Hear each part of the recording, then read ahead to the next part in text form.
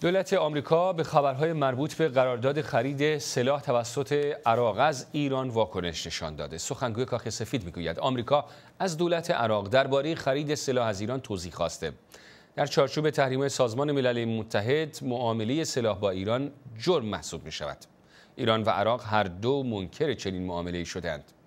پیش از این رسانه ها از قراردادی 195 میلیون دلاری بین ایران و عراق خبر داده بودند.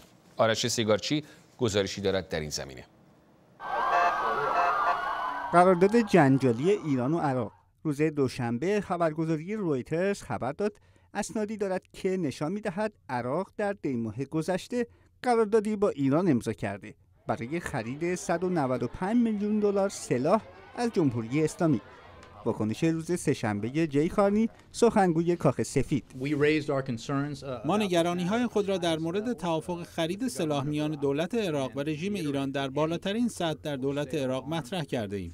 از طرفی هر داد و ستد سلاح با ایران تخلف بارزی از قطنامه های شورای امنیت سازمان ملل متحد است. دولت عراق ما را مطمئن کرد که به دغدغه های ما توجه می کنند ما امروز بیانیه وزارت دفاع عراق را دیده ایم که هر گونه قرارداد تسلیحاتی با ایران را رد کرده. مسئله را از طریق دولت عراق دنبال خواهیم کرد.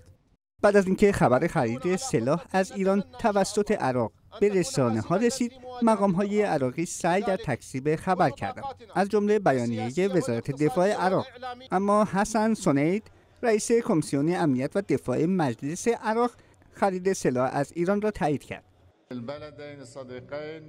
روابط ایران و عراق در ماههای اخیر گسترش یافته و حتی اکنون هوشیار زیباری وزیر امور خارجه عراق در تهران به سر می‌برد.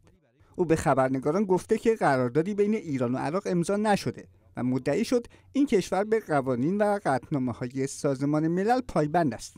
با این حال توضیحی درباره تناقض بین اظهارات مقام های عراقی نداد. رویترز پیشتر گزارش داده بود قرارداد ایران و عراق بعد از بازگشت نوریل مالکی نخست وزیر عراق از واشنگتن امضا شده. برخی نمایندگان مجلس عراق دلیل این اقدام نخست وزیر را ناراحتی وی از تأخیر در تحویل تسلیحات آمریکایی به عراق خواندند. هرچند اکنون مقام های عراقی خرید سلاح از ایران را تکذیب می کنند اما خبرگزاری مهر نقل کرده علی موسوی سخنگوی نخست وزیر عراق این خبر را نه رد و نه تکذیب کرده و گفته چون این قراردادی با توجه به مشکلات کنونی امنیتی عراق قابل درک است. سفیر ایران در بغداد هم هرچند می‌گوید قرارداد تسلیحاتی بین دو کشور منعقد نشده اما اعلام کرده در صورتی که عراقی ها از ما تقاضا کنند این مسئله را بررسی می‌کنیم.